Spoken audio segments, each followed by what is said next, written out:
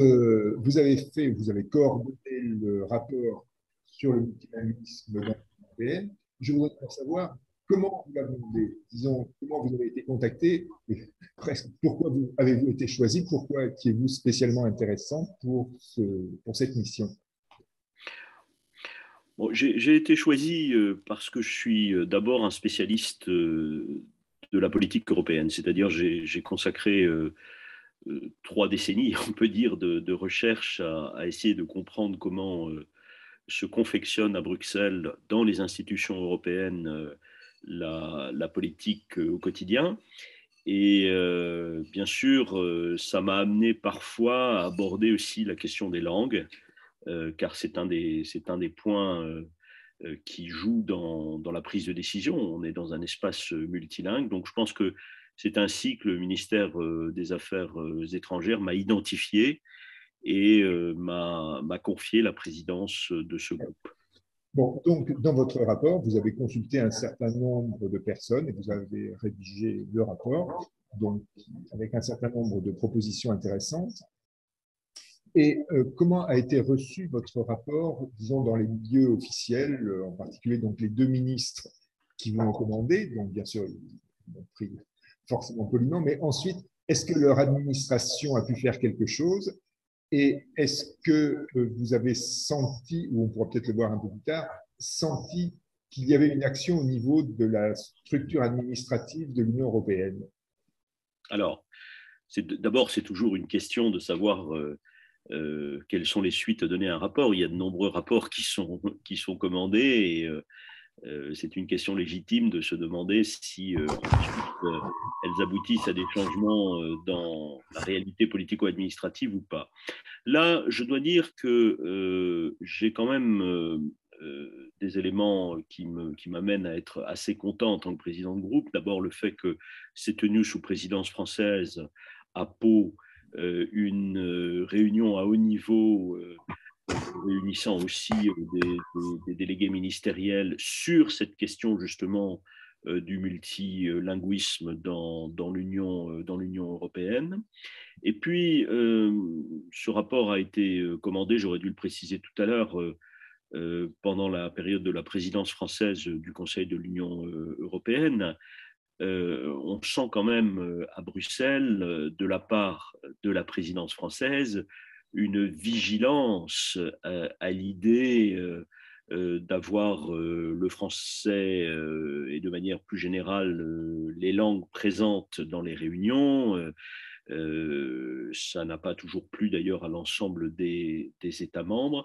Maintenant, quand on passe de la France vers les institutions européennes, là, je dois vous dire que j'ai eu énormément de témoignages euh, de la part euh, de, fonctionnaires euh, européens. J'ai eu des invitations de gens qui me disaient tous, vous soulevez un problème très important. Maintenant, est-ce que ça va changer vraiment la, réalité des choses dans le fonctionnement de la Commission européenne, du Parlement européen, des institutions de manière générale?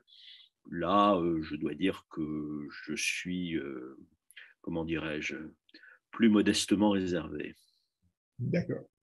Disons, nous, de notre côté, pour Europe Démocratie Espéranto, disons, ce qui nous inquiète, c'est la coupure entre, si on peut dire, les élites, donc euh, l'administration européenne, et, aussi les élites françaises, plus ou moins anglophones, qui ont fait des stages à l'étranger, etc., et le peuple lui-même qui est assez séparé de tout ça et qui a du mal à suivre tous ces détails. Et je pense qu'il n'y a pas qu'en France que ces problèmes se posent. Donc, allez-y. Bien sûr, bien sûr. Et je crois que s'il y a un point sur lequel l'ensemble des membres du groupe étaient, d'accord, quelle que soit euh, d'ailleurs euh, leur origine euh, nationale ou professionnelle, c'était que derrière cette question du multilinguisme, il y a un enjeu de citoyenneté. Et je crois que c'est comme ça qu'il faut, qu'il faut poser la question. C'est comme ça aussi que la question devient, devient immédiatement légitime. je crois que la réalité de nos pays, c'est que euh, nos vies euh, politiques, nos vies euh, sociales continuent à se faire dans, la diversité linguistique et que ça, ça implique une certaine responsabilité de la part de ceux qui font les décisions à Bruxelles, qui, doivent en tenir compte et montrer un certain exemple. Alors, je, comprends bien que ce n'est pas facile d'utiliser de, de, 24 langues de travail, bien entendu.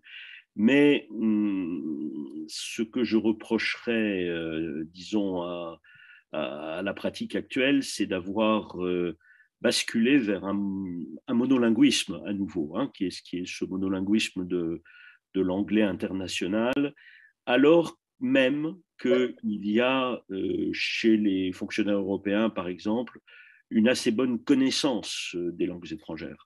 Euh, ce n'est pas un problème de, de, connaissance, c'est un problème vraiment de pratique sociale. Et euh, je trouve que c'est important de montrer l'exemple quand on est euh, notamment responsable dans une institution européenne, en pratiquant un peu la, la, le, le, le, plurilinguisme au quotidien, en passant d'une langue à l'autre, etc. Ça, c'est un, message qui part vers, vers les sociétés. Et euh, l'autre point euh, très important, c'est bien sûr l'accès à l'information. Euh, il me paraît tout à fait anormal qu'aujourd'hui, les, citoyens de l'Union européenne ne puissent pas encore avoir accès dans, dans l'ensemble de leur langue aux informations qui sont données, par exemple, par les sites des institutions européennes. C'est un point sur lequel, d'ailleurs, on a, on a beaucoup réfléchi en, en lien avec la traduction automatique, parce qu'il y, a, beaucoup quand même euh, de progrès euh, qui euh, peuvent être faits grâce à l'utilisation de, l'intelligence artificielle, même si ceci ne remplacera jamais complètement, bien sûr, la connaissance des langues par les individus. Et sans vouloir verser dans le complotisme, le conspirationnisme, etc., nous avons l'impression que il y a un hiatus entre les discours officiels sur le multilinguisme, que toutes les langues sont égales, et la pratique réelle, si on peut dire masquée, masquée mais quand même très spectaculaire, de l'omniprésence de l'anglais. Euh, tout se passe comme si il n'y avait pas de politique linguistique officielle et que la politique linguistique, au sens de il faut employer telle langue comme ci, enseigner telle langue comme ça, un petit peu par exemple comme la politique linguistique officielle de la France depuis plusieurs siècles, on s'en remonter à Villers-Cotterêts, mais en gros, c'est le français pour toute la France. Et donc, bon, au bout d'un certain temps, tous les Français ont parlé français. Euh, là, euh, je, ressens une, séparation. Disons, est-ce qu'il y a quelqu'un qui détermine, quelqu'un ou un groupe qui détermine une politique linguistique, ou est-ce que vous pensez que c'est un comportement grégaire de, de, l'ensemble des gens qui travaillent autour des institutions européennes, qui ont tendance à faire ce que tout le monde fait et qui se copient un peu l'un l'autre Je crois que c'est clairement la deuxième, euh, option plutôt que la première. Je ne pense pas qu'il y ait une politique euh, linguistique. Non, je, suis même certain qu'il n'y a pas une politique linguistique euh, ayant fixé l'anglais comme, norme, même si parfois on peut trouver euh, certains éléments, par exemple euh, le fait que le nouveau parquet européen qui a été créé à, Luxembourg n'utilise que l'anglais comme langue de procédure et ça fait, ça fait, euh, ça fait partie des statuts, là, c'est quand même une forme d'institutionnalisation. Mais plus, plus fondamentalement, je pense que euh, le phénomène que l'on trouve à Bruxelles est un phénomène général des élites globales, euh, c'est-à-dire euh, le fait que la langue qu'on apprend en priorité et qu'on utilise en priorité aussi, c'est maintenant l'anglais, qui n'est pas forcément d'ailleurs un anglais très proche de, de l'anglais standard tel qu'on le parle dans les pays anglophones, qui est un anglais un peu simplifié, mais euh, ceci, arrange, ceci arrange tout le monde et euh, est devenue une pratique sociale. Voilà, elle est intégrée par, euh, par, par les élites. J'ajoute que certains ont des, ont, des, ont des approches, là, certains États membres ont des approches aussi utilitaristes, consiste à dire à partir du moment où cet anglais s'impose, bon, ben, ça nous évite d'avoir à financer de la traduction et de l'interprétation, ça coûte cher, voilà. Mais je crois que c'est, je crois qu'il faut vraiment pas avoir une espèce de, de, complot organisé. C'est plutôt, j'aime assez votre votre adjectif de grégaire, c'est plutôt, c'est plutôt ça la, la, la, réalité. Et, ça, ça, prouve très largement que finalement, euh, l'anglais s'est imposé comme la langue de communication des, élites euh, au, plan, euh, au plan international et donc à Bruxelles aussi. En, 2018, il y avait eu une consultation de la médiatrice européenne sur l'utilisation des langues dans les institutions européennes, où tout le monde pouvait répondre.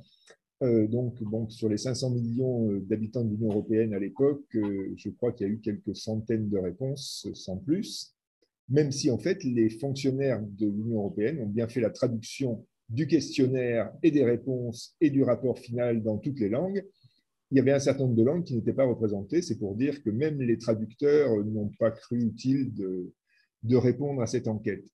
Et en gros, euh, cette enquête montrait un certain nombre de problèmes. Il y a eu un rapport qui a été diffusé et ensuite, Robert Philipson, qui, a écrit des livres sur le multilinguisme, a posé la question à la médiatrice, bon, maintenant que ce rapport est fait, euh, est-ce qu'il va y avoir une suite? Est-ce que, euh, que ça va changer quelque chose dans le fonctionnement des institutions européennes? Et la médiatrice a répondu non, on m'a demandé de faire un rapport, une consultation, j'ai fait la consultation, j'ai fait le rapport, et maintenant c'est tout, mon travail s'arrête là. Donc, comment faire pour qu'il y ait une politique linguistique explicite de l'Union européenne en gros, pour qu'on puisse soit l'approuver, soit la contester, euh, alors que pour l'instant, c'est un, marécage où personne ne se retrouve. Alors, il y, a, trois éléments dans ce que vous venez de, me demander. Euh, le premier, d'abord, c'est sur les, sur les traducteurs et les interprètes.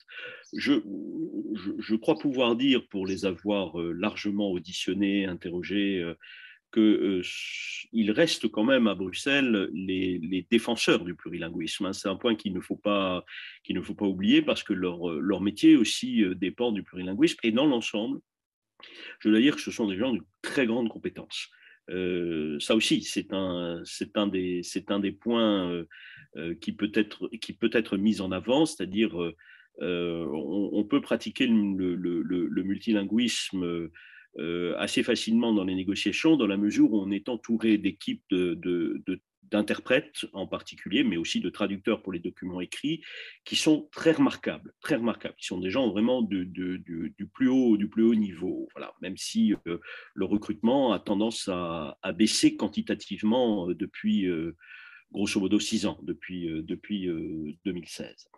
Ensuite, ce, que vous me, ce que vous me dites sur euh, la, question euh, du, rapport euh, de la médiatrice et puis ensuite de la politique linguistique, bah là, ça nous, ça nous amène dans, au cœur de ma discipline qui est la science politique, qui est finalement, vous ne pouvez avancer sur ces questions qu'à partir du moment où vous créez un rapport de force politique.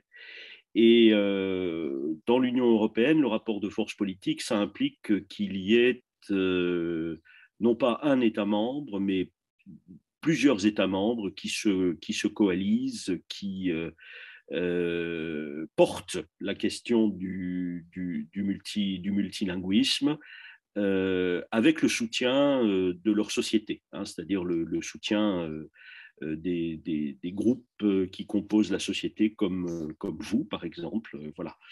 Et là, je dois dire que la France a un peu de mal quand même la France euh, euh, est porteuse de, l'idée du multilinguisme. Alors, dans la perception qu'en ont les autres, euh, il y, a une petite suspicion qui est que la France, dans le fond, porte le, multilinguisme pour essayer de remplacer un monolinguisme anglophone par un autre monolinguiste francophone.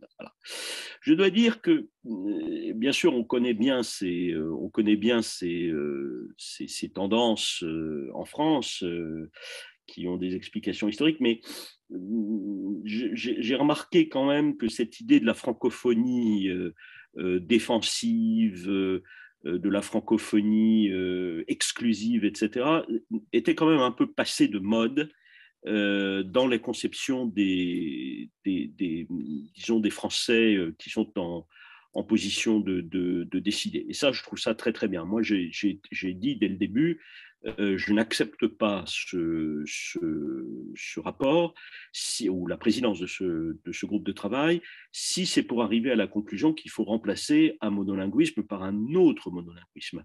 Euh, il faut jouer vraiment la carte du multilinguisme. C'est ça le point important. Et c'est le multilinguisme qui, quelque part, sauvera le français au même titre qu'il sauvera euh, l'italien, l'allemand, l'espagnol, etc., etc. Mais ça a un peu de mal à raisonner dans d'autres États de, de l'Union européenne, y compris chez nos voisins allemands d'ailleurs, qui, qui sont toujours prêts à... Bah, L'Allemagne, grande démocratie, donc ils sont toujours prêts à, à considérer que c'est important, la diversité culturelle, etc. Par contre, quand on leur dit, voilà, il faut faire de la langue un objet politique, là, ils ont plus de mal. Ils n'y arrivent pas. Ils arrivent pas. Je pense que c'est lié aussi à l'histoire allemande. C'est cette idée que, quelque part, euh, ils se méfient un peu euh, de, de l'impérialisme culturel parce que ça les renvoie à une histoire euh, qui est l'histoire du, de, de du, deuxième Reich, du troisième Reich, excusez-moi, du troisième Reich, douloureuse pour eux. Voilà. Mais donc, le gros problème de la France, c'est de trouver des alliés dans cette, euh, dans cette affaire. Hein. C'est un, de d'écarter la suspicion que la France joue solo simplement pour défendre le français. Et une fois cette, euh, cette euh, représentation écartée, de trouver véritablement d'autres États membres qui fassent coalition. Ça, c'est pas simple, pas simple du tout. Merci Ken. En gros, vous nous encouragez à continuer notre action pour euh, politiser un peu ces problèmes linguistiques. Bien sûr. Pour qu'on puisse en débattre.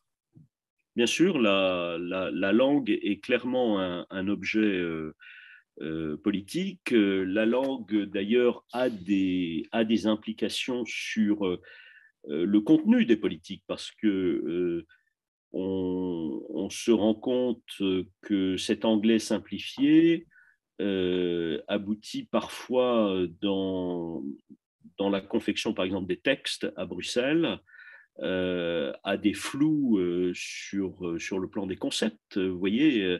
Et, ensuite, il ne faut pas oublier que ces directives ont une portée juridique dans l'ensemble des États membres et vont euh, pouvoir être euh, opposés aux citoyens ou les citoyens vont pouvoir les utiliser pour défendre leurs droits.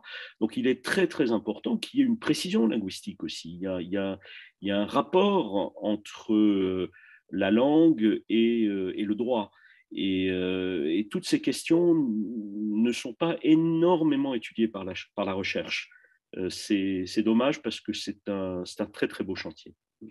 Merci.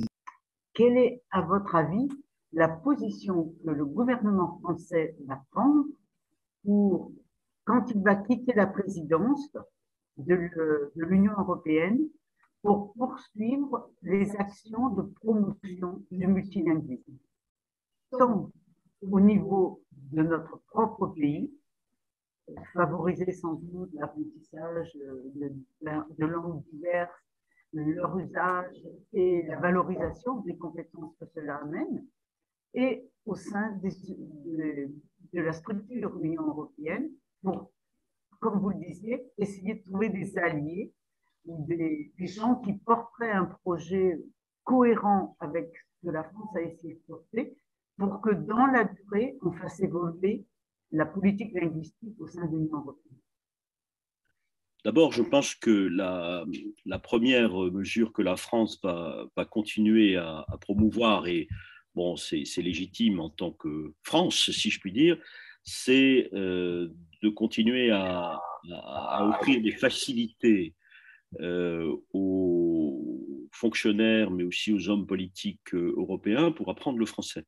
Et, donc, pour, pour essayer, via la connaissance du français, de promouvoir la, la diversité. Euh, il existe un programme hein, qui s'appelle le, programme Millefeuille, qui est réalisé en collaboration avec l'Alliance française, l'Alliance française de Bruxelles, et qui permet à plusieurs centaines chaque année de fonctionnaires européens, mais aussi de fonctionnaires nationaux des ambassades, des représentations permanentes auprès de l'Union européenne, d'avoir des cours de français.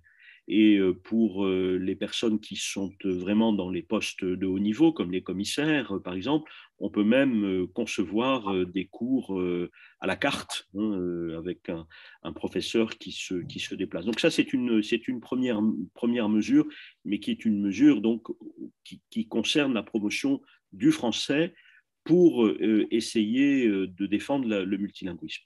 Après, je pense qu'avec les, les autres États membres, euh, ce qui va être fait, c'est, qui est déjà fait, c'est la vigilance à l'égard de la transmission des documents. Euh, je crois que la France euh, insiste beaucoup. Et là, elle peut avoir des, alliés pour que les, documents qui émanent des institutions européennes soient traduits dans les langues euh, officielle avant d'aller dans les capitales. Pourquoi est-ce que c'est important? Parce que, euh, bien sûr, quand on arrive au niveau euh, national, il faut transmettre ces documents dans les ministères, il faut les transmettre ensuite dans les parlements, parce qu'il y a des, des, systèmes, notamment parlementaires, comme le Danemark, où il faut un accord du Parlement avant de pouvoir prendre une position de négociation. Et c'est important que à la fois euh, ces ministères et ces commissions parlementaires et des documents traduits. Donc là, la France va, va, va continuer, je crois, à être vigilante et là-dessus, elle peut avoir, euh, elle peut avoir des, alliés. Ensuite, euh, est-ce qu'elle va essayer de promouvoir des mesures qui sont dans, dans le rapport comme moi j'ai proposé par exemple euh, un rapport annuel euh, des institutions européennes transmis aux États membres et au Parlement européen sur la politique linguistique à l'intérieur de chacune institution. Est-ce que ça, la France va continuer à le faire et, pourra le porter euh, avec suffisamment de soutien d'autres États membres? Là, ça, reste, ça reste un point d'interrogation. Il y a un autre, il y a un autre sujet sur lequel je crois la France va être vigilante aussi, c'est de ne pas trop euh, accepter les diminutions euh, des dotations budgétaires pour tout ce qui est traduction et interprétation. Parce que là, euh, comme on est dans, dans l'idée que voilà, il faut jamais faire augmenter les budgets, bon, ça c'est un vieux truc classique. Sur quoi est-ce qu'on rogne? On rogne en priorité sur ce qu'on appelle les coûts d'accompagnement ou les coûts support et on, fait entrer, on fait entrer la traduction et l'interprétation euh, dans, dans, cette catégorie. Donc là, c'est important, euh, c'est important aussi, euh, surtout que bah, il, y a des, des, grands pays et des plus petits pays qui sont contributeurs nets au budget européen, c'est-à-dire qui donnent plus qu'ils ne reçoivent en retour via les politiques. Et euh, eux, bien sûr, sont, euh, soucieux de ne pas avoir d'augmentation euh, du, des, budgets européens. Voilà. Mais en tout cas, c'est une affaire, une affaire à suivre et, on verra aussi si la présidence tchèque, qui va commencer le 1er septembre, a un peu de, de sensibilité à cette, à cette question ou pas. bien, bonjour à tous. Donc, j'ai en effet ce dernier mardi 15 mars à Pau avait donc lieu une conférence sur la diversité linguistique et la langue française au sein de l'Union européenne. Euh, donc participait à, cette conférence un certain nombre de personnalités, mais malheureusement, beaucoup d'intervenants euh, sont euh, intervenus par l'intermédiaire de capsules vidéo. Donc c'était du distanciel et il était donc impossible de leur poser des questions puisque euh, leur intervention est arrivée, puis euh, euh, leur discours terminé, ils nous ont salués et il n'était plus possible de communiquer avec eux. C'était notamment le cas de Jean-Michel Blanquer que je n'ai pas pu rencontrer alors que j'avais un courrier particulier à lui remettre. Donc, cette, euh, cette euh, conférence a été ouverte. L'ouverture a eu lieu par François Bayrou, euh, le maire de Pau. et le discours également d'ouverture par M. Jean-Baptiste Lemoine, le ministre délégué à la francophonie. Euh, il y a eu également, lors de cette ouverture, un petit clin d'œil sur les langues régionales, puisque chez nous, je suis effectivement, euh, euh, j'habite à côté de Pau, chez nous, les, langues régionales sont très importantes politiquement, surtout. donc, beaucoup d'interventions par capsule vidéo, notamment celle de Leila Slimani, qui était tout de même la représentante personnelle du président de la République pour la, pour la francophonie. Euh, également euh, absente Louise euh, Musiki-Wabo, secrétaire générale de la francophonie. Roseline Bachelot, ministre de la Culture, donc Jean-Michel Blanquer, je l'ai dit, et Amélie de Montchalin, ministre de la Transformation et de la Fonction publique. Voilà pour les principales personnalités qui ne sont intervenues que par capsule. cette conférence donc s'est déroulée devant un auditoire d'environ 200 personnes dont une classe d'étudiants se destinant à enseigner le français à l'étranger. Et ces, euh, étudiants-là ont été invités la veille. Je pense que c'était pour garnir un peu l'auditorium de Pau, parce que ça faisait un peu vite. Euh, cette conférence s'est déroulée, vous le savez probablement, mais bon, je le rappelle, euh, par la tenue successive de quatre tables rondes.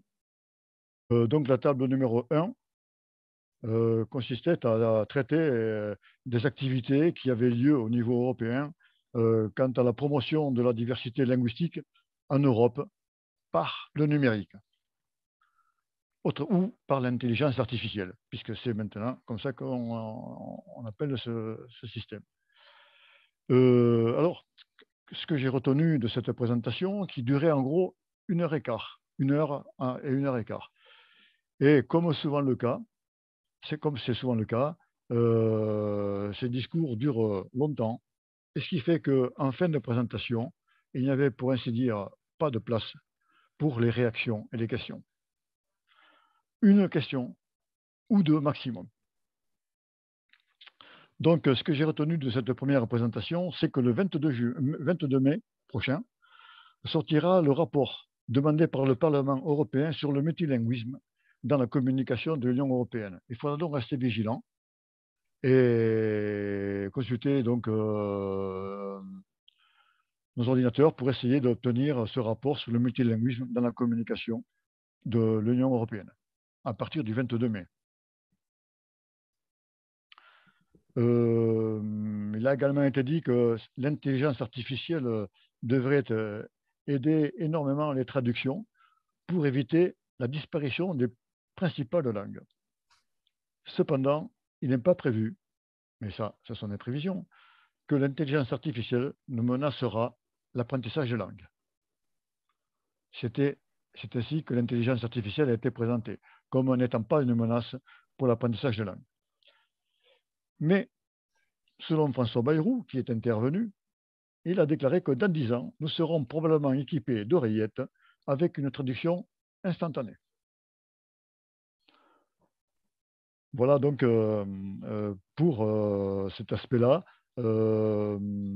ensuite, comme argument, il a été dit que l'intelligence artificielle permettra bientôt, bon, à échéance quand même de moyen terme, d'échanger des connaissances du bout des doigts. Ça veut tout dire. Et la communication européenne, la Commission européenne travaille à une traduction automatique de toutes les langues. Alors, à ce niveau-là, on a mis ça sur la défense du multilinguisme parce que ça préservera au moins les langues. C'est ce qui a été dit. Voilà pour la table numéro 1. La table numéro 2, le thème était pour une éducation plurilingue en Europe favorisant la citoyenneté européenne. À ce niveau, c'est l'importance de la sauvegarde du français qui a été soulignée et appelée l'OIF représentant en effet 19 États. Euh, il a été souligné que notamment en Belgique, euh, les élèves avaient de grandes difficultés pour apprendre les trois langues, français, l'allemand le néerlandais. que beaucoup d'efforts étaient consacrés au multilinguisme sous la présidence française du Conseil de l'Europe. Alors, c'était un peu de pommade pour notre président qui favoriserait énormément le multilinguisme lors de sa présidence. C'est seulement à cette table-là que j'ai pu intervenir, je le dirai, j'en parlerai tout à l'heure. Et j'étais le seul à la personne à pouvoir intervenir euh, lors de ce thème. Il a également été précisé que l'apprentissage des langues étrangères était très laborieux, non seulement en France, mais également en Europe. En Roumanie, cinq langues euh, étrangères sont apprises et enseignées de façon obligatoire. Concernant la table numéro 3, il s'agissait de la mobilité en Europe et parcours de carrière au sein des fonctions publiques. Bon, et là, donc, ça traitait des personnes qui sont appelées à se rencontrer, euh, notamment dans les fonctions publiques. Et là, donc, il a été souligné qu'il fallait faciliter et accélérer les échanges entre les personnels de la fonction publique, euh, qu'il euh, était nécessaire que chacun possède au minimum trois langues européennes et qu'il fallait utiliser le français le plus possible. Ça, ça a été le, le secrétaire général de l'Assemblée parlementaire de la francophonie qui l'a souligné et rappelé plusieurs fois. Donc, euh, au niveau, à ce niveau-là, euh, et on va le voir un peu plus tard également, ne pas hésiter à forcer sur, nous forcer à parler le français le plus possible, même en milieu plurilingue la table numéro 4, ça concernait le secteur économique et la diversité linguistique comme facteur d'employabilité. Et là également, il a été signalé qu'il fallait que nous nous approprions la francophonie pour développer le multilinguisme parce que, et que chacun fasse la même chose dans son, au niveau de sa langue.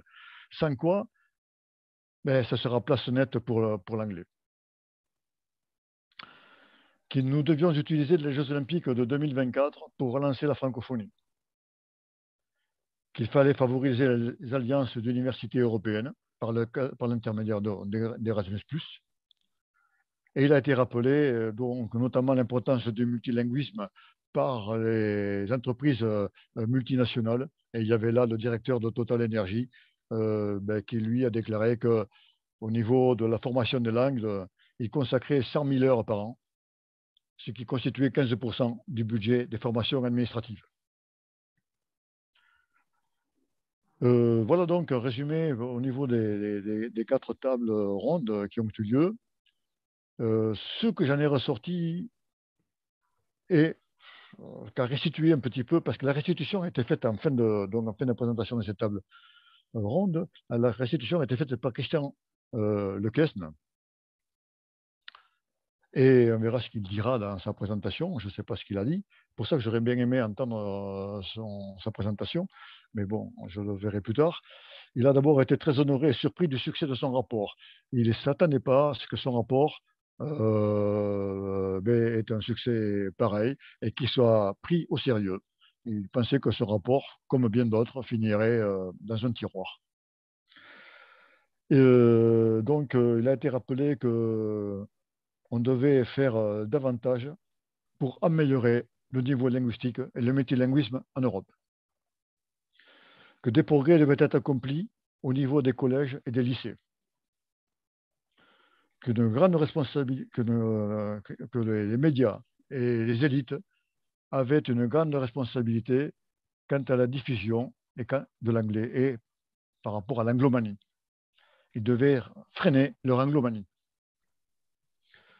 Mais bon, ce sont des vœux un peu pieux tout ça. Hein. Euh, que nous devions, encore une fois, nous approprier la défense du français. Et qu'il euh, fallait compter sur l'intelligence artificielle pour faire progresser rapidement tous les systèmes de traduction. On commence à en voir déjà certains effets euh, au niveau de nos téléphones. me concernant, j'ai donc pu intervenir à la table numéro 2 en soulignant que j'avais bien entendu des difficultés que nous rencontrions dans l'enseignement et l'apprentissage des langues étrangères. Et que, euh, à ce titre-là, eh bien, euh, je signalais que euh, nous avions un nouvel outil que la Commission européenne avait aidé par le cadre du programme Erasmus, à mettre en, à créer. Je faisais une allusion au, au, MLA, Multilingua Accelero. Et euh, donc j'ai rappelé que nous étions, le, monde espérantophone, était à la disposition de tous les systèmes éducatifs euh, pour euh, les aider à permettre l'enseignement des langues, à faciliter et permettre un meilleur enseignement des langues étrangères, la diversité linguistique et une identité européenne. Donc j'ai rappelé le, MLA et j'ai surtout dit que c'était une suggestion parce que euh, quelqu'un voulait intervenir. J'ai dit écoutez, ce n'est pas une question, c'est simplement une suggestion de réflexion. Je vous encourage à penser sérieusement aux bénéfices que peut engendrer l'espéranto au monde dans les systèmes éducatifs européens. Voilà euh, un peu, euh, j'ai eu deux minutes pour m'exprimer. Et puis, euh, ça n'est en gros resté là. Je suis prêt à répondre à vos questions. J'avais un courrier pour Jean-Michel Blanquer. évidemment, je n'ai pas pu le lui remettre. Je n'ai pas utilisé d'intermédiaire. Je le lui ai envoyé la semaine suivante. Je n'ai toujours pas eu sa réponse. Bon, je, euh, je l'ai relancé la semaine dernière. Voilà. Bah, de toute façon, euh, dans la période actuelle, euh, il ne peut pas faire grand-chose puisque le gouvernement va changer dans les jours qui viennent. Hein. Oui, mais il est encore présent. nous, avions, nous, avions, rencontré Najat Vallaud-Belkacem quelques temps avant aussi un changement de, un changement de gouvernement. la DGESCO restera peut-être, le personnel restera plus ou moins ce qu'il est. Euh, on peut si on veut, on ne peut pas si on ne veut pas. Oui, oui. Hein? Une question? Oui. J'aurais voulu savoir euh, approximativement combien il y avait de personnes dans, à cette table numéro 2 et combien euh, avait déjà connaissance de l'existence de l'espéranto et euh, ah, ça, je ne peux pas le savoir. Ah, à ta deuxième question, je ne peux pas répondre. Ouais. Euh, par contre, à la première, je, je compte. Hein, Jean-Michel Banquier, donc en distanciel.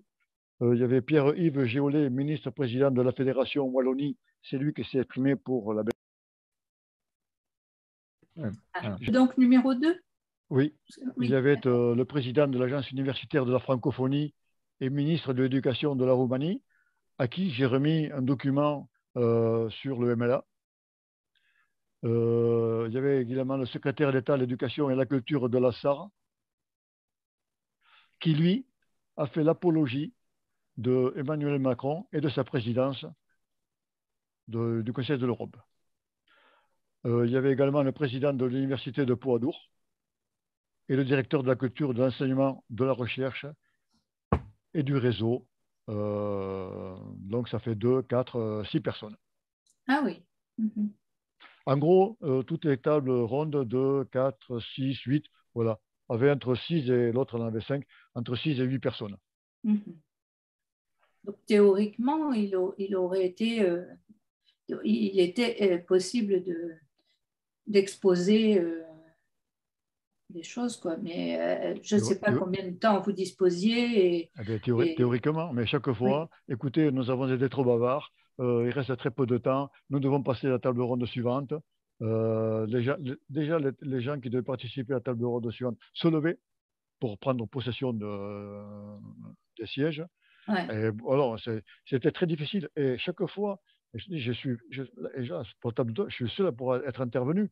Et ça a été une extrémiste. Euh, il ne fallait pas traîner pour lever le doigt. Quoi. Ouais. Ouais, bon. Euh, tout le monde s'est satisfait de son travail, soit par rapport au multilinguisme, soit par rapport à la francophonie. Il faut que nous continuions, nous allons faire encore plus, nous, nous progressons bien. Voilà, c'était, ça a été un satisfait général. global. Ouais. Merci Guy. je sens quand même du découragement parce que on a l'impression de pédaler dans le vide. Quoi. Oui et non. ça m'a permis de, ça a permis déjà que toute l'assistance entende parler euh, qu'il y avait un outil mis à disposition de l'enseignement euh, de langue étrangère sur une durée de un an. Euh, je parlais du MLA. il y avait des étudiants, il y avait des parents d'élèves, enfin je suppose, donc, ou des grands-parents d'élèves comme moi. Donc après, on pédale, on croit qu'on pédale toujours dans le vide. C'est exact, exact, je pense que c'est vrai souvent mais pas systématiquement. Et donc, il faut continuer de pédaler. Bravo, moi aussi.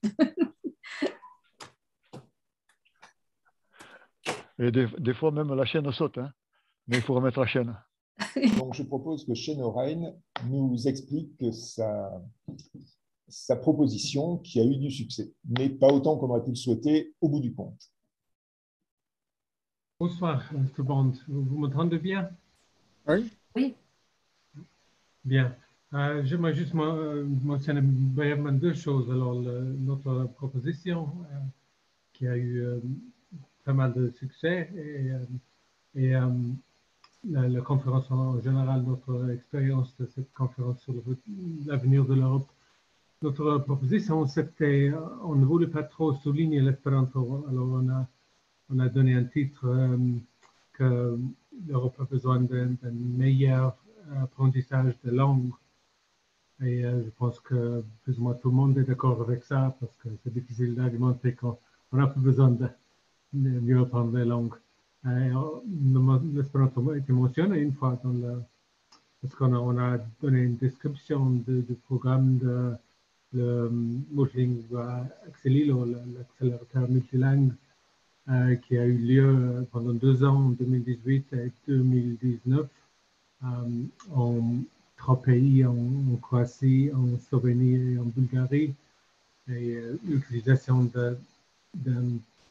d'une partie euh, limitée, assez limitée très sérieusement choisie de l'espéranto pour avec le but d'améliorer l'apprentissage des autres langues après, pour souligner la contribution possible de l'espéranto à renforcer le multilinguisme et euh, ça, c'était notre proposition. Et on a, pendant plusieurs mois, c'était la proposition la plus euh, populaire de, tous. Il y a eu plus, plus de 17 000 propositions, mais euh, il n'y a pas eu de participation de masse dans, une, Europe, Union européenne de 27 pays et 450 millions de personnes. C'était quelques centaines plutôt que qui euh, participaient à euh, notre opposition. Comme je dis, ce qui était le plus populaire. Pendant longtemps, on a terminé avec 821 euh, votes.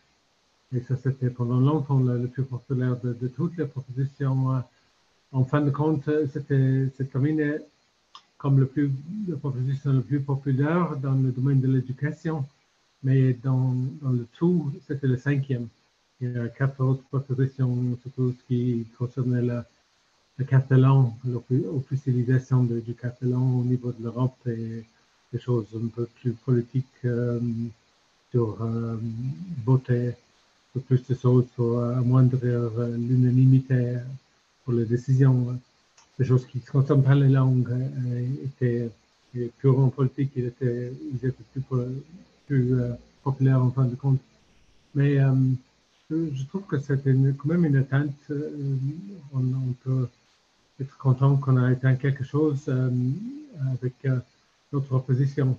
Je devrais mentionner aussi qu'il y avait 22 propositions qui ont mentionné l'espéranto. Notre proposition était seulement une de, ces 22. Dans les autres 21, 21 propositions, moi j'ai commenté favorable, chaque il y avait des propositions, par exemple, que euh, chaque école en Europe devrait donner une heure de, de euh, une heure de cours sur qu'est-ce que c'est l'espéranto. Il y avait par exemple le, droit de la, communauté espérantophone d'être reconnue, que, reconnaît l'espéranto pas comme une langue nationale, mais comme une langue qui est utilisée par pas mal de personnes en Europe, dans une communauté en, Europe. Il y avait plusieurs autres propositions comme, comme ça. Je, vais te donner toute la, liste des 22, mais personnellement, j'ai commenté toutes les, les 22 propositions.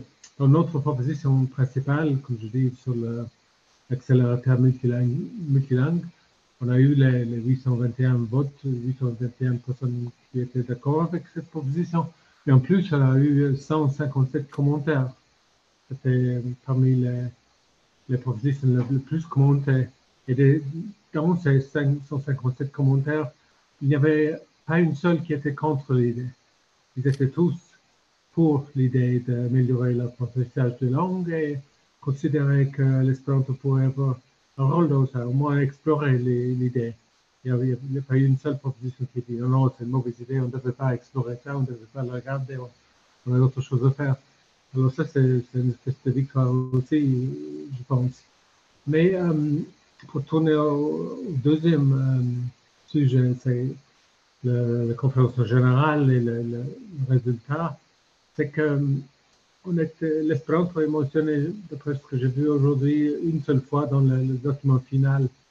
Et euh, euh, le, Parlement européen a, accepté une résolution des panels de citoyens qui ne mentionne pas l'espéranto, mais qui, qui, mentionne le multilinguisme et qui, qui reprend une, une proposition de, du d'un comité hollandais de citoyens qui, qui dit que euh, tout le monde devrait apprendre les langues des voisins, mais que tout le monde aussi devrait avoir un certain niveau en, anglais.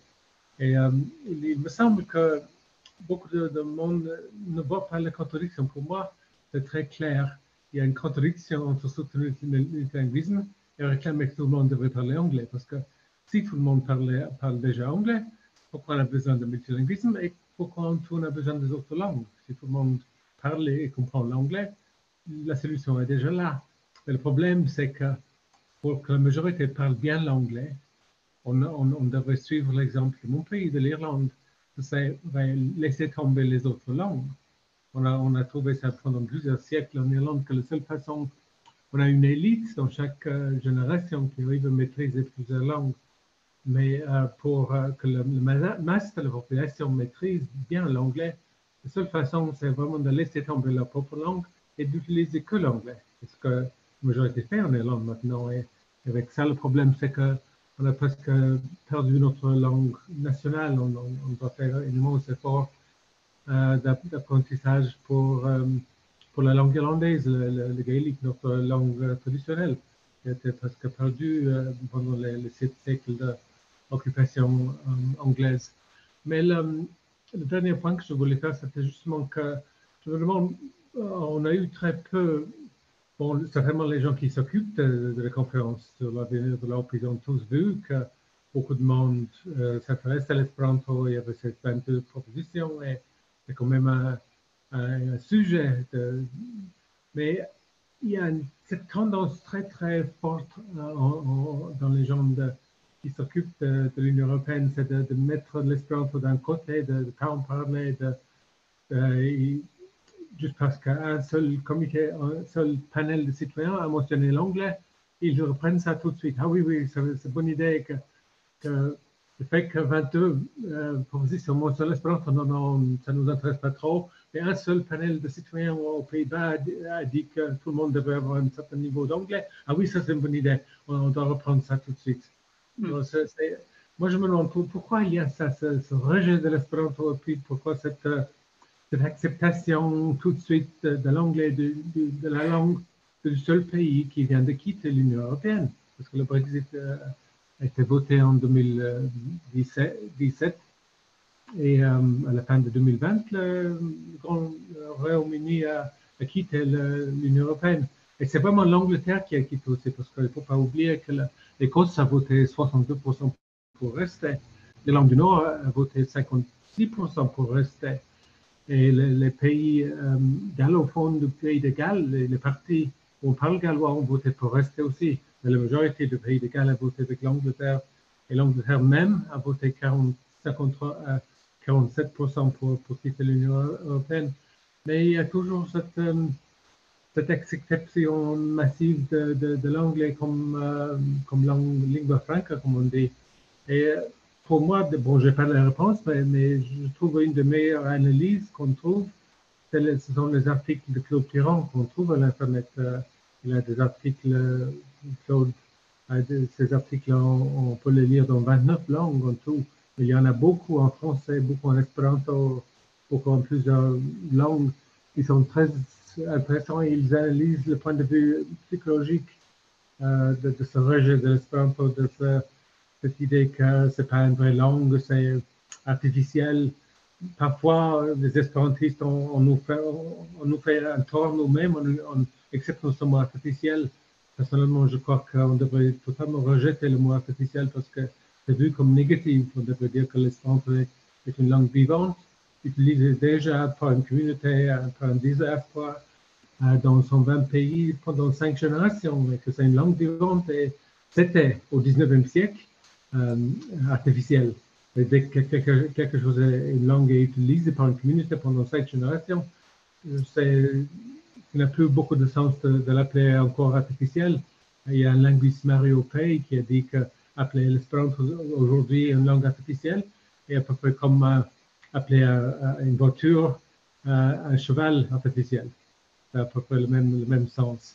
Alors, je pense que je, je termine avec, ça. Que je pense que ça valait la peine quand même. On n'a pas atteint le résultat, qu'on voulait. On voulait surtout, disons qu'au moins, avoir une mention dans le document final qu'il vaut la peine d'explorer euh, euh, ce programme qui a été financé quand même par la Commission européenne, par Erasmus, dans d'autres pays, et qu'on devrait.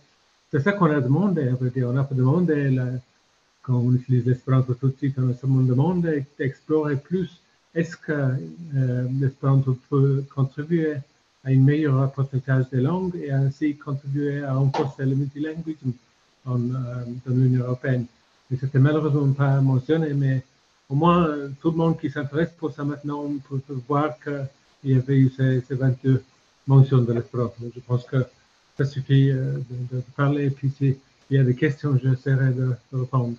Merci beaucoup. Donc la plateforme multilingue, c'est ce qui fonctionne depuis un an à peu près, qui fonctionnait, puisque maintenant c'est fermé. J'ai voulu inscrire l'événement de ce soir euh, comme événement, mais depuis une semaine, je n'ai pas pu, c'était sûrement déjà fermé. Euh, donc ça, a pu fonctionner encore jusqu'à il y a quelques semaines. Pendant la, fin, on a eu des panels nationaux qui ont fonctionné, donc depuis l'automne 2021 euh, jusqu'au début de l'année 2022 puis les panels européens, disons, dans le début de l'année 2022, et puis les plénières euh, en mars-avril 2022 pour aboutir à un, rapport, à des propositions donc, qui ont été euh, dévoilées en grande pompe aujourd'hui à Strasbourg. Alors, pour ce qui est de la plateforme multilingue, je voudrais ajouter que, premièrement, dans la partie éducation-culture, les, il n'y a pas que la proposition de chaîne, puisque dans les dix premières, celles qui avaient le plus de soutien, il y en avait cinq qui avaient trait à l'espéranto, donc la moitié des, si on peut dire, pas du podium, puisque pour dix, on ne fait pas un podium, mais euh, la moitié des dix premières avaient un trait à l'espéranto. Et puis, il y en avait aussi deux qui étaient proposés par la Confédération européenne des syndicats. Et donc, la Confédération européenne des syndicats, disons, c'est un peu comme euh, comme les espérantistes, comme divers groupes de pression. Ils mobilisent leurs adhérents pour participer et donc leurs propositions sont aussi assez soutenues. C'est le jeu euh, d'une telle plateforme. Donc, on peut considérer que ça a assez bien fonctionné. Et puis, cette plateforme multilingue a donné lieu à des rapports qui ont été faits par des, je pense, par des professionnels. Donc, ça doit être Kantar, donc la même entreprise qui fait les, sondages, qui a résumé euh, sous forme d'un rapport les diverses propositions. Et comme il y avait beaucoup de propositions soutenues qui parlaient d'espéranto, dans les rapports de cette plateforme multilingue, il est aussi fortement question d'espéranto, organisé en phrases, en paragraphes, etc. Je trouve que c'est assez bien fait. Ensuite, ou vers la fin, il y a aussi les panels nationaux, c'est-à-dire des gens, en principe plus ou moins tirés au hasard, euh, dans la population qui euh, débattent de différentes idées et qui, comme ça, font, permettent de faire un rapport sur euh, ce que propose tel pays ou tel pays. Donc, par exemple, en France, on a eu une réunion dans chaque grande région et ça a donné lieu à des, discussions et des rapports. Alors, y a les, panels nationaux ne sont pas tenus de discuter, de, de, soutenir les propositions de la plateforme Internet. Mais quand même, je pense que ça serait plutôt mieux. Euh, non seulement ça serait mieux, mais dans le texte, il est dit que la plénière doit tenir compte, euh, disons, de ce qui a été proposé aux étages inférieurs. Euh, sur ces panels nationaux, je voudrais prendre deux exemples. Euh, donc, ici, c'est pour dire que euh, l'Assemblée plénière débat des recommandations formulées par les panels de citoyens nationaux et européens, ainsi que des contributions recueillies dans la plateforme numérique multilingue. Donc, normalement, l'Assemblée plénière devrait euh, tenir compte, même si c'est pour les éliminer, des, des panels et de la plateforme multilingue. Et normalement, les panels aussi devraient tenir compte de la plateforme multilingue. Bon, ceci dit, ça n'est pas évident. Par exemple, ici, c'est le rapport italien. Donc, sur les 27 membres de l'Union européenne, il y a plus de la moitié des pays qui n'ont pas vraiment fait de rapport, mais dans ceux qui ont fait des rapports et qui étaient traduits en français, il y avait notamment l'Italie. Et donc, dans la partie langue, il est dit le rêve de l'espéranto s'étant effondré, le départ du Royaume-Uni de l'Union européenne a soulevé des doutes quant à la possibilité d'avoir comme langue commune l'anglais, une langue clé des relations internationales, etc. Donc, bon, le rêve de l'espéranto s'étant effondré, ça montre que ces gens-là n'ont pas vraiment consulté les résultats de la plateforme, mais admettons. Donc, euh, ce texte dit qu'on élimine l'espéranto, ensuite on élimine l'anglais, mais dans les recommandations, en premier, il y a promouvoir l'adoption d'une langue commune. Donc, ça ne me paraît pas très facile si on élimine, si on veut dire, les deux candidats euh, qui ont été cités précédemment. Donc, bon, pour l'Italie, c'est ça. Alors, pour les conférences régionales en France, ça a donné lieu à, d'une part, un rapport détaillé euh, qui faisait 100 et quelques pages, 138 pages, et d'autre part, un rapport de synthèse qui était censé être un résumé qui ne faisait que 41 pages pour qu'on n'ait pas à lire la totalité des 100 et quelques pages. En soi, c'est une bonne idée. Sauf que euh, dans, le, dans le rapport général, le rapport détaillé, le mot langue est cité, est cité 30 fois. Donc, on pourrait imaginer que dans un rapport de synthèse qui fait à peu près un tiers du nombre de pages, le mot langue soit cité dix fois. Eh bien, euh, non, pas du tout. Dans le rapport de synthèse, qui pourtant est marqué comme étant un résumé du rapport précédent, le mot langue n'est pas cité du tout. Donc, ça a disparu, ça a été éliminé de, euh, cette réflexion, de cette discussion. Donc là, pour le coup, je ne sais pas qui a pris l'initiative de ça. Alors, en fait, dans la pratique, ce n'est pas un résumé. Contrairement à ce qu'indique le titre, c'est en fait qu'on a supprimé une grande partie et on a gardé une autre partie. Et il se trouve que dans la partie qui était gardée, euh, il n'est pas question du mot langue. Alors ensuite, on a eu les panels européens, donc qui ont été faits aussi par Internet avec des interprétations. Et vous savez que les interprétations, ce n'est pas toujours simple. Parfois, il y a des interprètes qui manquent, parfois les machines tombent en panne, etc. Mais donc, dans ces panels européens, il est dit nous recommandons de promouvoir le multilinguisme dès le plus jeune âge, par exemple dès la maternelle. Bon, effectivement, c'est difficile de le promouvoir avant. Euh, et à partir de l'école primaire, on imagine de rendre obligatoire que les enfants atteignent un niveau C1 dans une langue de l'Union européenne autre que la leur. Euh, pour moi, qui étais enseignant, qui été parent d'élèves, euh, atteindre un niveau C1 en fin d'école primaire, sachant que le niveau visé en fin de lycée est pour l'instant le niveau B2 et que c'est le niveau visé, mais que dans la pratique, il y a moins de la moitié des élèves qui atteignent ce niveau, je ne vois pas très bien comment, dans un avenir prévisible, on peut avoir les élèves qui ont un niveau C1 dans une langue de l'Union européenne autre que la leur, sauf si on fait tout l'enseignement en anglais. Donc ça, euh, à ce moment-là, si la totalité de l'enseignement est en anglais, on peut imaginer effectivement qu'ils atteignent le niveau C1, mais à ce moment-là, ils risquent bien de ne plus avoir le niveau C1 dans leur propre langue. Donc c'est un premier problème. Et dans la proposition 38, donc, nous recommandons que l'anglais soit enseigné selon une norme certifiable. Euh, pas de problème, c'est un choix. Donc on peut imaginer qu'un gouvernement prenne cette décision. Mais ce qui est moins simple à comprendre, nous faisons cette recommandation pour les raisons suivantes. Ça permettrait une plus grande unité, une plus grande égalité entre les citoyens. Ça peut se discuter. Ça élargirait le, marché du travail et le rendrait plus flexible, peut-être. Mais là aussi où j'ai des doutes, c'est une telle approche permettrait la diffusion d'une langue européenne commune dans un délai très court. Bon, pour moi, d'habitude, en politique, un délai très court, ça veut dire peut-être pas la semaine prochaine, mais en tout cas pour euh, l'année prochaine, donc le temps de finir euh, l'année scolaire, par exemple, et puis l'année prochaine, dans un délai très court, on enseigne ceci ou cela. Donc, pour moi, euh, j'ai du mal à imaginer que l'anglais puisse devenir une diffusion d'une diffusion d'une langue européenne commune dans un délai très court, c'est-à-dire quelques années. Donc, il est possible que ce soit pour la fin du XXIe siècle, mais euh, ce qui m'inquiète beaucoup, c'est qu'avant la fin du XXIe siècle, nous aurons d'autres problèmes, donc que ce soit les problèmes de, réchauffement climatique, que ce soit les problèmes de guerre, les problèmes de pandémie, parce qu'il peut en arriver d'autres, et euh, nous n'aurons pas le temps, si on peut dire, d'avoir l'anglais comme langue commune avant ces gros problèmes. Donc j'ai des doutes, et je ne suis pas le seul, vous allez voir ensuite que le, la plénière a un petit peu adouci ceci. Alors, pour ce qui est des plénières, donc je vous mets ici ce qu'on peut encore actuellement trouver sur Internet, donc ça n'a pas été censuré, les gens ont fait ça très honnêtement, mais si vous remarquez, euh, ce projet doit aller du vendredi 8 mars au samedi 9 avril 2022, donc une séance plénière qui durerait un mois.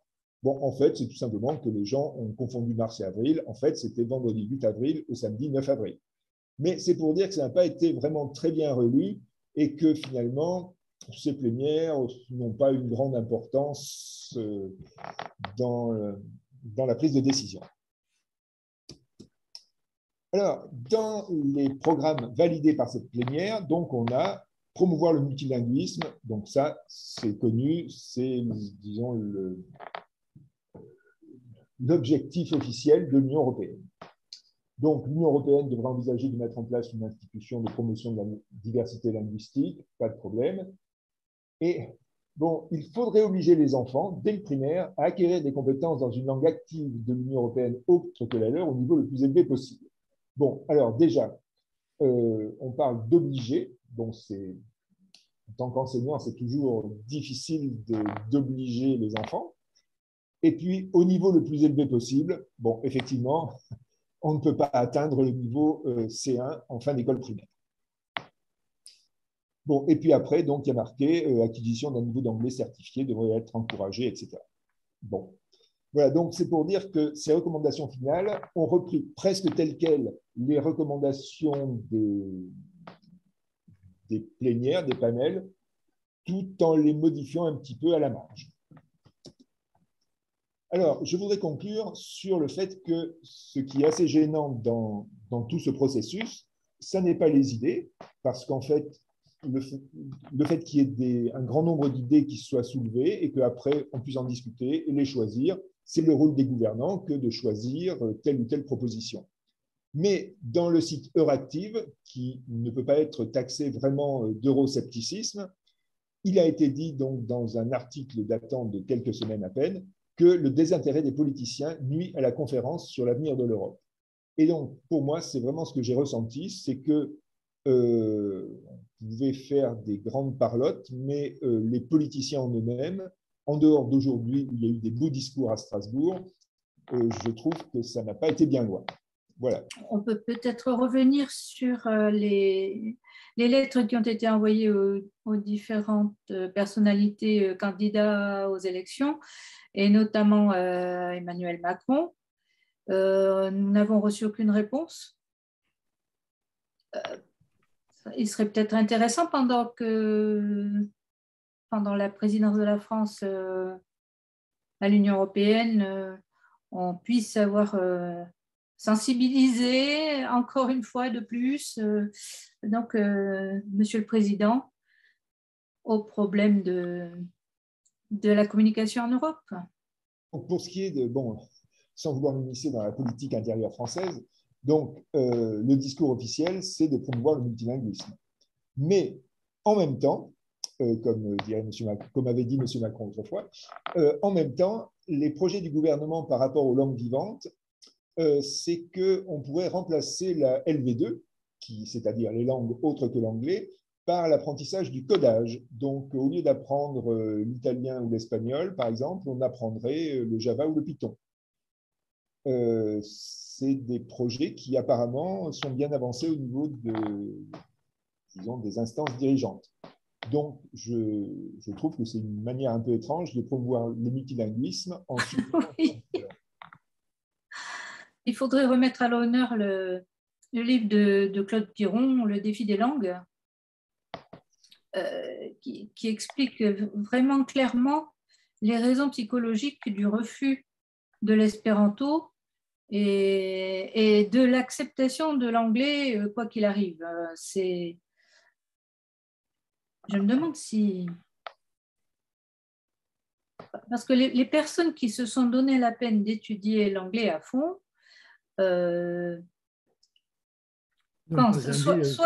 soit, qu'ils sont supérieurs, soit que tout le monde n'a qu'à faire comme eux. Et ils ne voient pas le problème de, l'hégémonie de l'anglais. Alors, je vois Nadine Lemoine qui hoche la tête. Euh, peut-être peut-elle donner aussi son avis ou son opinion J'ai un petit avis à donner parce qu'au sein de Volt, je suis confrontée qu'à des jeunes gens qui sont tous super diplômés, bac plus 5, 6, 10 même, et qui parlent tous, enfin pour la plupart, en France du moins, anglais correctement, pour autant que je puisse en juger, mais je pense qu'ils ne parlent pas quand même de toute façon comme des natifs, à moins d'être nés ou d'avoir vécu leur enfance dans, dans un pays anglo-saxon. Mais ils ont tous une orthographe déplorable. Quand ils font des rapports que je serais censée partager avec mes amis qui ne sont pas de Volt en France je peux pas. Je peux pas. Je leur demande de, corriger. Et ce sont des gens très intelligents pour lesquels j'ai beaucoup d'admiration. Il y a certains qui sont excessivement brillants. Ils ne savent plus écrire le français. Donc, il y a vraiment un gros problème.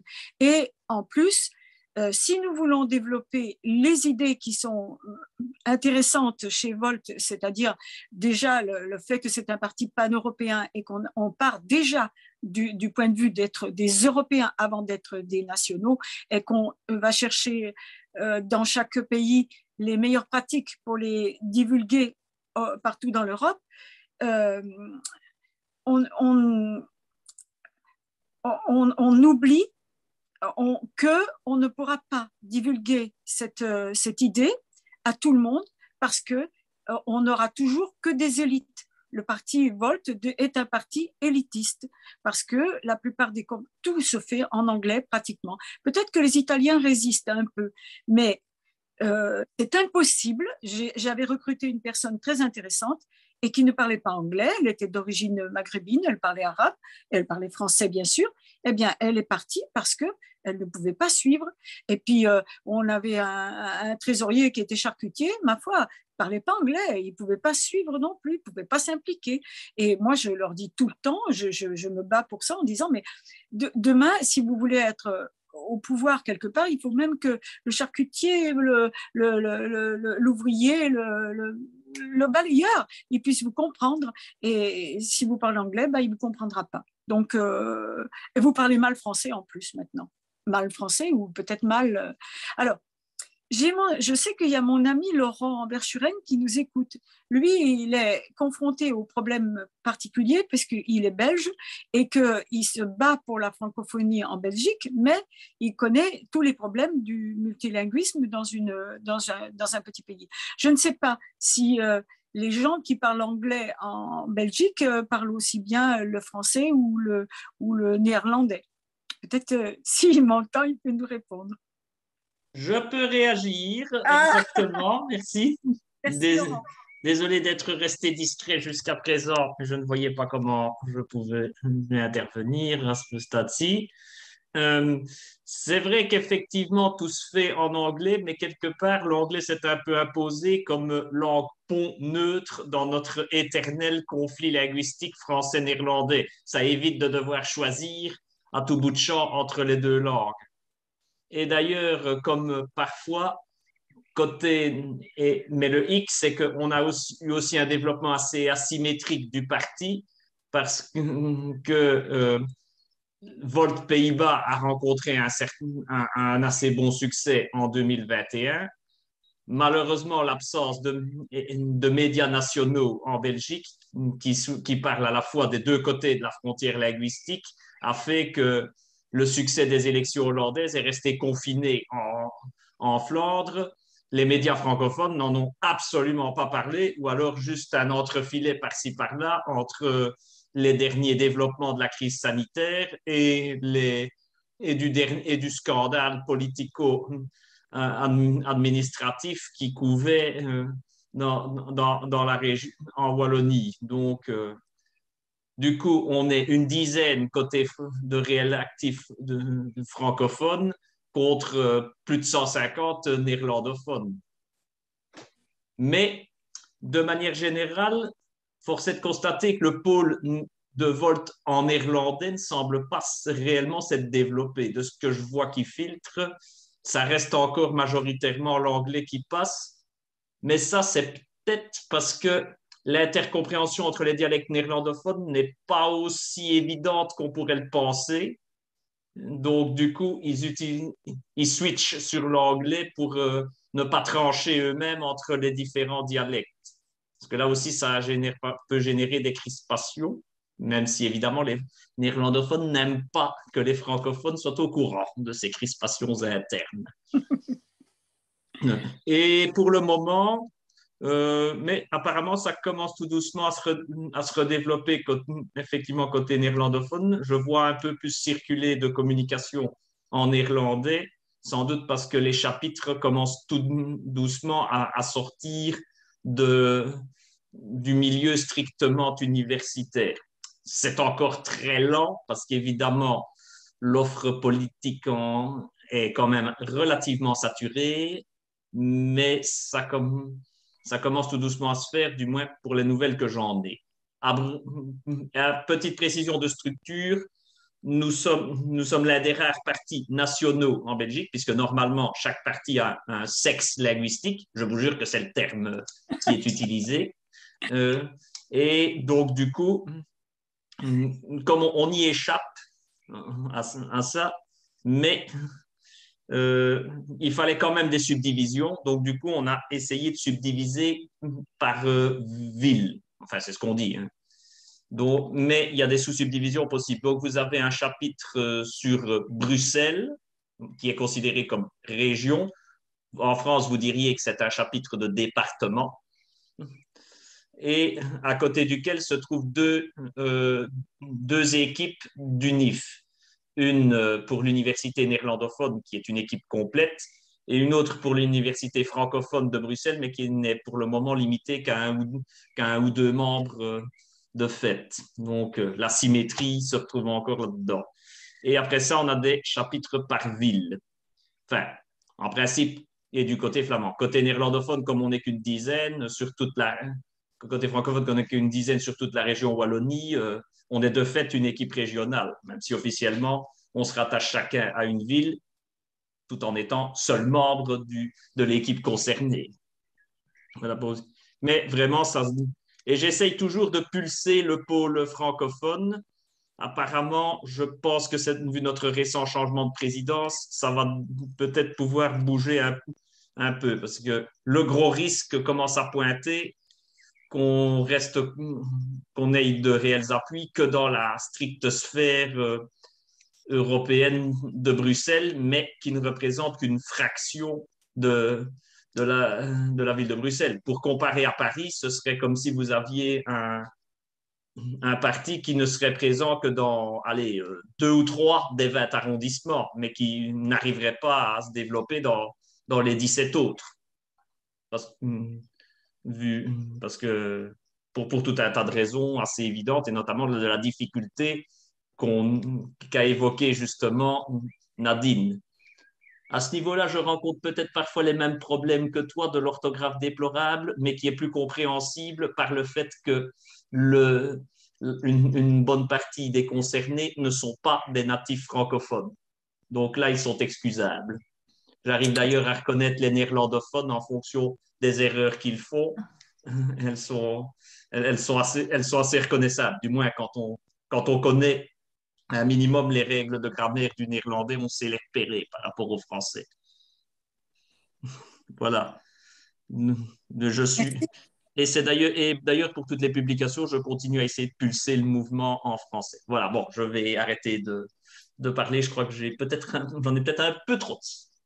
Euh, voilà. Donc, euh, je voudrais poser une question à, Shane Oriane euh, parce que dans un document, il disait que la, langue anglaise était euh, difficile et qu'il y avait à peu près 1%, je crois, des Européens qui parlaient très bien l'anglais, enfin des Européens non anglophones de naissance, et ce qui remet en cause, bien sûr, la nature que l'Europe se veut, elle se veut démocratique.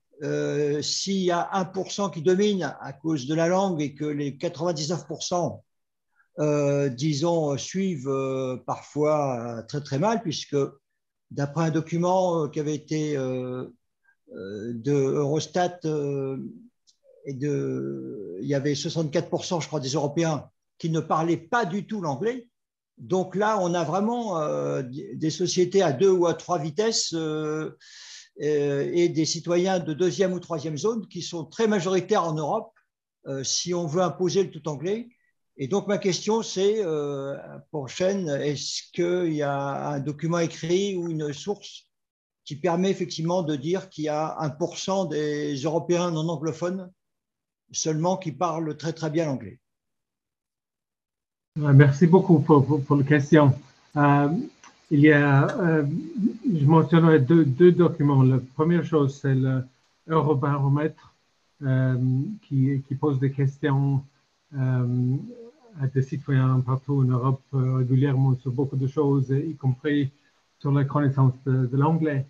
Et euh, dans ces eurobaromètres, vers 8% ont dit qu'ils estiment qu'ils ont une très bonne connaissance de l'anglais. 8%, alors euh, que 92% n'ont pas cette connaissance, très, très bonne connaissance de, l'anglais. Et ça, c'est leur propre estimation. Ça, c'est sans examen. C'est comme demandez à quelqu'un dans la rue, est-ce que vous connaissez les mathématiques Et il dit oui.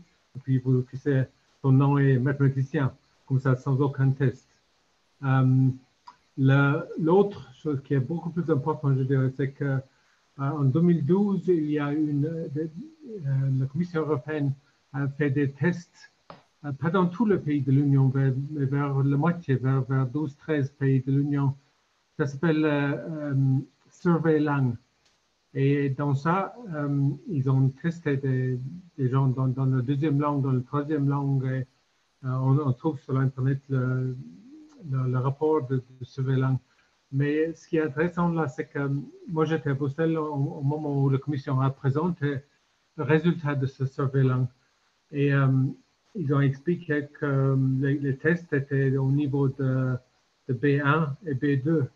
Et tout de suite, dès qu'ils ont terminé la présentation, j'ai posé la première question. C'était pourquoi il n'y avait pas eu de, test au niveau C1. Et la réponse était qu'ils n'ont pas fait de test au niveau C1. Parlons pas de C2 maintenant qui est le plus haut. Ils n'ont pas fait de test au niveau C1 parce qu'ils ont dit que le, niveau de, gens qui atteignent ce niveau C1, euh, c'est très, très, très petit, c'est moins qu'un pour cent euh, de, tout le monde qui apprend. Et ça, c'est après toutes les années, c'est dans la, première langue étrangère, alors le, faire du gens en anglais, 8%. Les deux choses à garder dans la tête, c'est 8% estiment, ils pensent eux-mêmes qu'ils sont à un très bon niveau de l'anglais. Et quand on leur donne des tests pour montrer, pour prouver clairement quel est leur niveau d'anglais, euh, il y a moins qu'à 1% qui a ce, niveau de, C1 en, anglais. Alors, exige, comme, comme euh, Pierre a montré là, l'exigence ou la, proposition de, la conférence qu'on devrait exiger que tous les enfants euh, atteignent un niveau C1 en anglais, c'est totalement irréaliste. Ça n'a jamais été atteint jusqu'à maintenant et pourquoi on, devrait l'atteindre euh, maintenant? C'est vrai que, vous, venez de dire que c'est totalement élitaire et c'est pas démocratique. Euh, moi, j'estime que pour euh, faire un débat politique et pour avoir une, chance de, convaincre des autres son point de vue, on devrait au moins avoir le, niveau C1 dans une langue. Mais si les 99% n'ont pas de C1 en anglais et moins qu'un 1% atteint ça, ça veut dire que c'est on va vers, une Europe totalement élitaire euh, où un tout petit pourcentage euh, maîtrise cette, langue anglaise qui qui est remplie. C'est plus simple. Bon, je dirais que l'anglais est peut-être plus, facile que, le français ou l'allemand parce qu'ils n'ont pas les, cas de l'allemand, ils n'ont pas le, subjonctif du français. Il n'y a pas hum, le verbe en anglais est quand même un peu plus simple. Mais du côté de l'anglais, l'orthographe est totalement illogique en anglais. On, pourrait parler longtemps de ça, mais il n'y a, pas de lien direct entre ce qu'on dit et ce qu'on écrit. il faut apprendre par cœur à écrire l'anglais. Et c'est vraiment, il y, a, beaucoup de, lettres silentes, beaucoup de lettres qu'on n'écrit pas.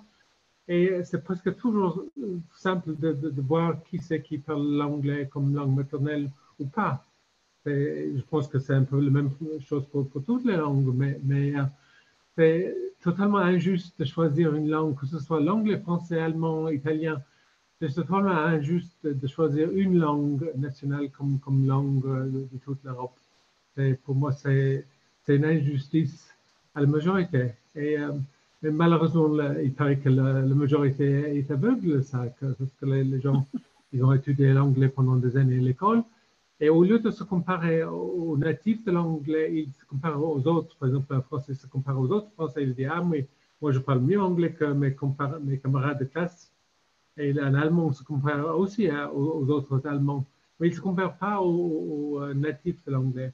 Et après le Brexit maintenant, euh, il y a de moins en moins, il n'y a que 1%, il n'y a que les Irlandais qui parlent l'anglais comme, comme langue maternelle, la plupart des, Irlandais. Et c'est que les Irlandais, c'est 1% de la population de, l'Union européenne maintenant, de 27 pays. Ça veut dire qu'il y a 99% euh, qui, qui, ne sont pas à ce niveau en anglais.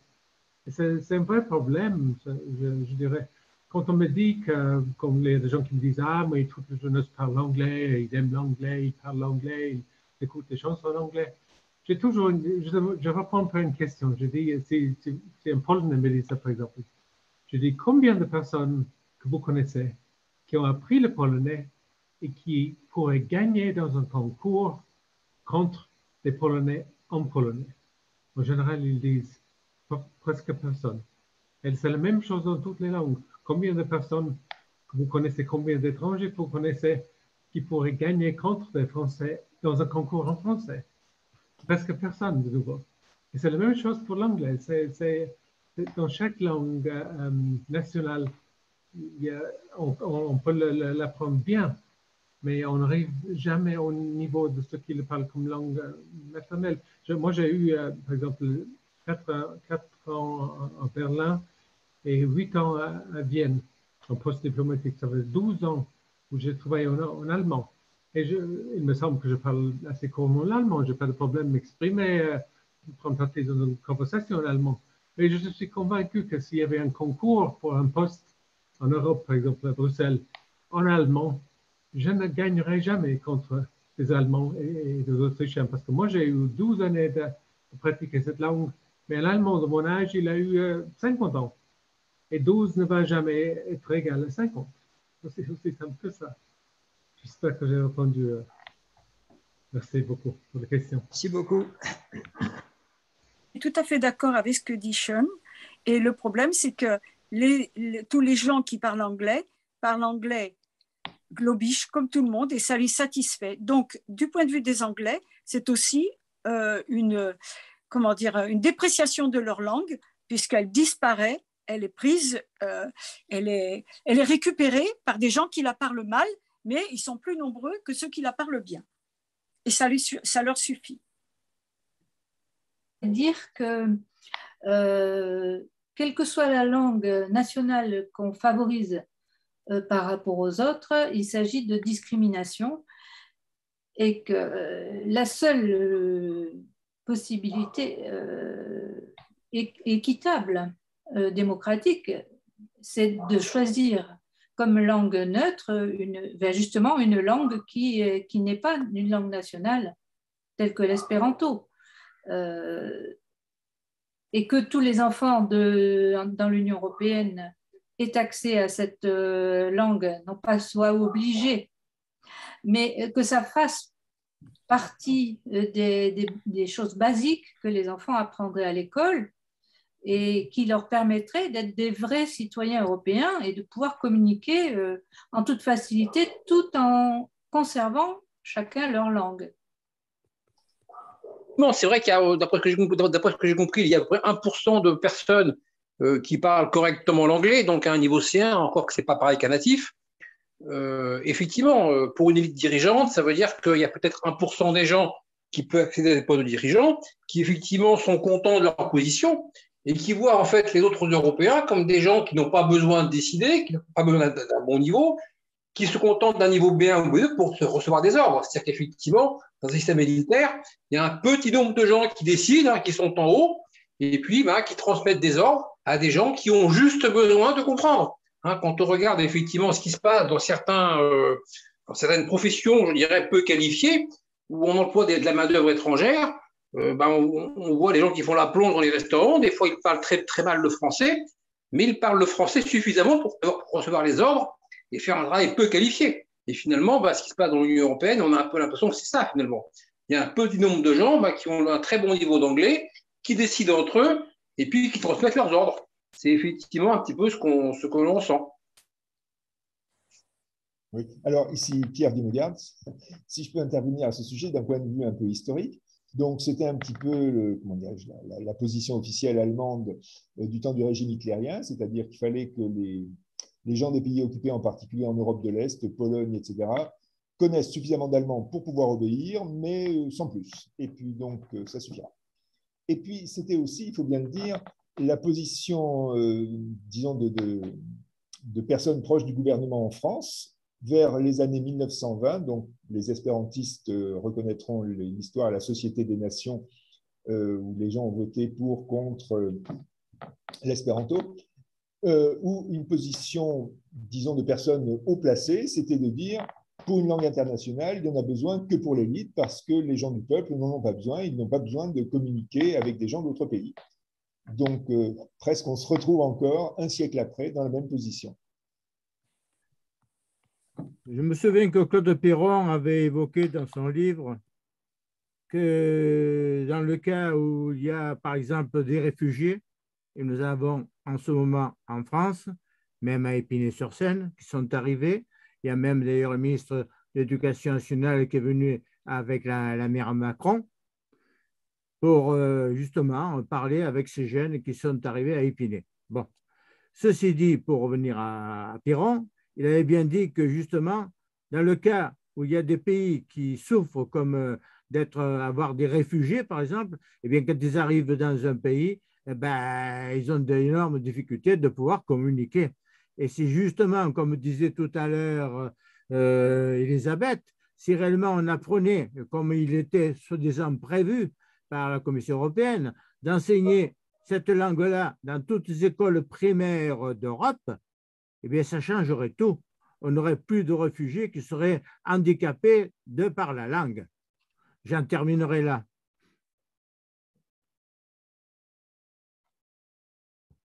Oui, euh, alors, puisqu'il faut positiver quand même, on ne va pas se quitter de façon trop triste.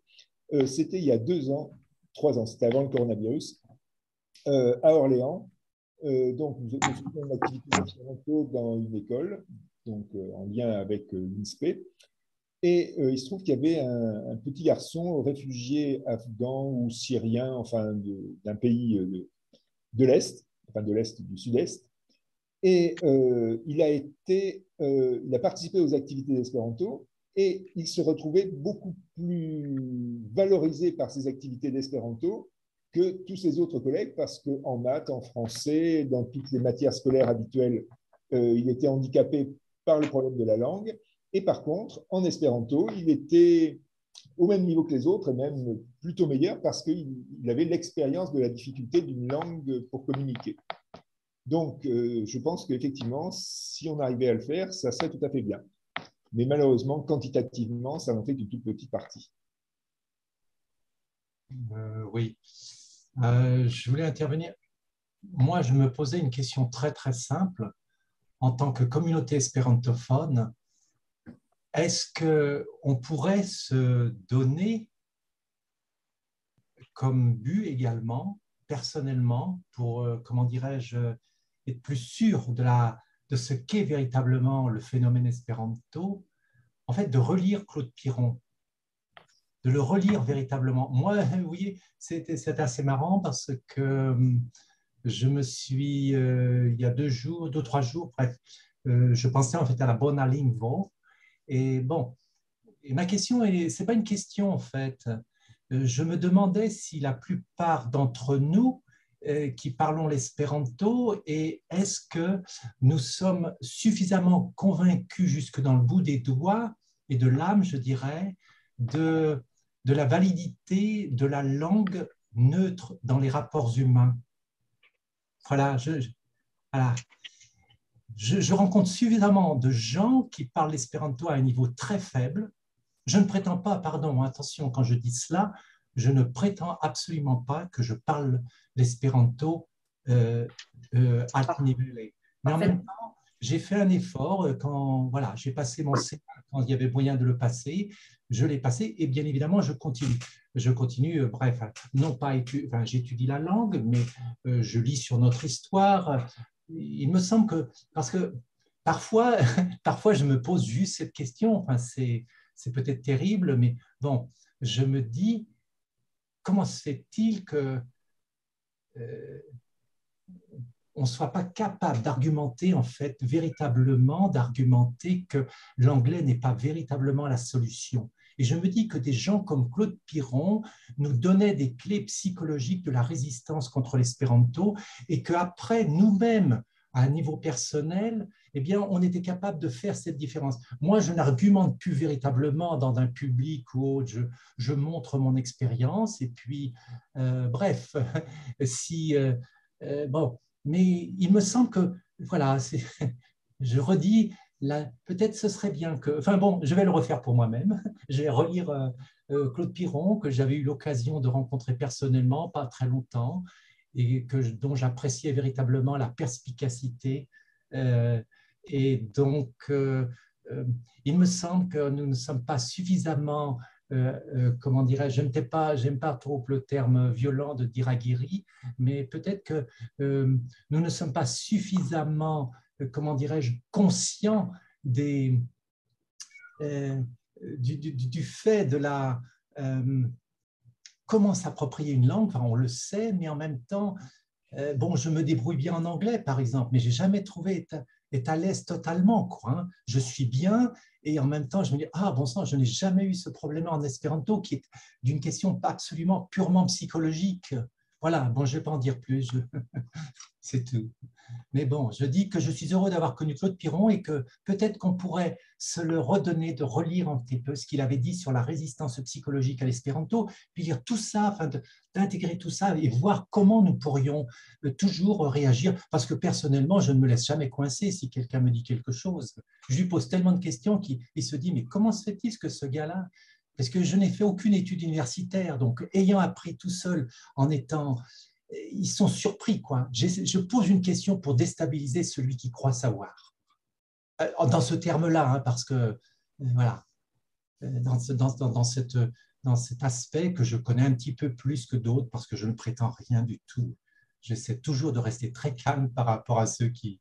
Bon, mais j'ai une expérience, c'est tellement de bonheur grâce au fait que je parle l'espéranto, eh bien, euh, je continue à, être un, ambassadeur de la langue, quoi, partout, quels que soient les milieux.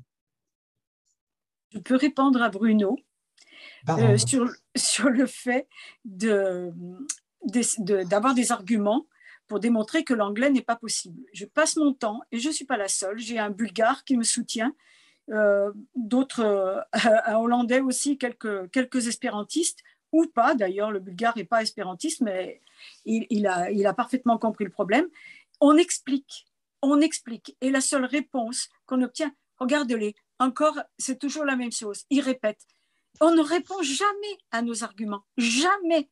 On peut prouver par A plus B que personne ne va parler anglais demain euh, dans toutes les classes, que, ça ne deviendra jamais une langue commune. Quand ils pensent qu'ils voyagent, ils disent, vous, ne parlez qu'avec des gens qui sont spécialisés dans l'accueil des étrangers et qui baragouinent quatre mots d'anglais, mais vous ne pourrez pas faire une conversation à un haut niveau ni quoi que ce soit.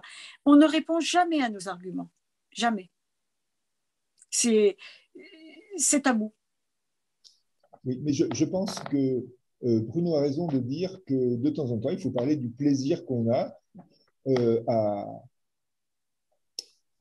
pratiquer l'espéranto, de la liberté que ça peut donner, liberté intérieure d'une part et liberté éventuellement dans les relations qu'on peut avoir avec d'autres personnes. Euh, ça peut être intéressant. Pierre, anglophone, les, les, les mordus d'anglophonie, ils ont plaisir à parler anglais, bien ou mal.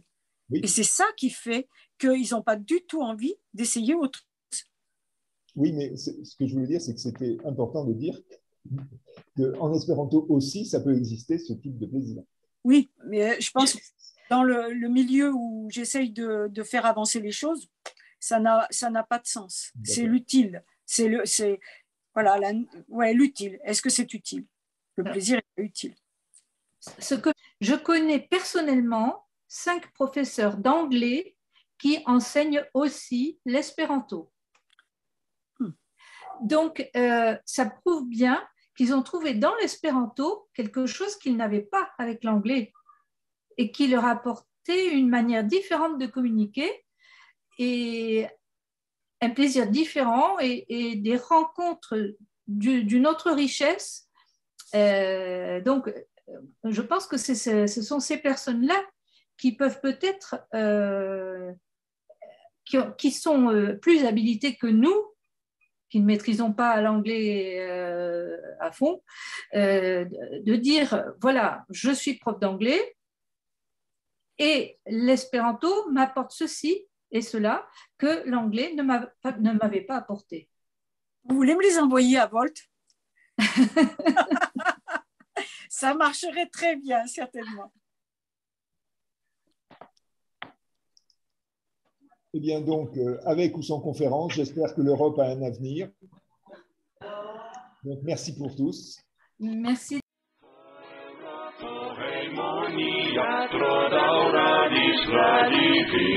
Numbrile estas